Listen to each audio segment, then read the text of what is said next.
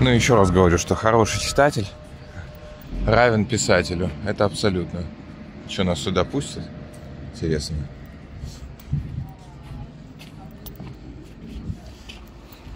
Пустили, смотри-ка ты. Монастырское подворье.